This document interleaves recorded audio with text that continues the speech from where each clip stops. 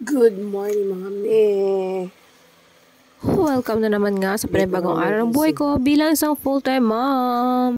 For today's mini story mga me, ay maaga akong nagising. Siyempre, diretso kusina na tayo para maglimpit-limpit ng kung anak-anak dyan na nakakalat kagabi pa. Mabilisang ligpit-ligpit na naman yan at baka magising na naman ang aking mga junakis. Dahil nga ay maraming gawa sa araw-araw.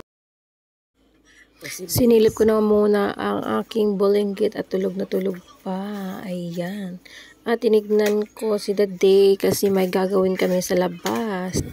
Kaya tutulungan ko muna siya. Ayan. Magpapalit kasi kami mga may ng, mga, ng fence kasi nga bulok-bulok na yung fence na pinagawa namin mga 2 years ago or mag 3 years na yan. So, papalitan natin ng hollow blocks yan. Si Daday lang muna ang gumawa dahil hindi dumating yung gagawa. Tapos nagbuka niya si Daday sa labas, nagprepare naman ako ng kanyang breakfast. Sinabay ko na rin ang pagluto ng ulam para sa pananghalian kasi harapan na naman magkikilos mamaya. So that's it for today mga me. Thank you for watching. See you on my next vlog. God bless.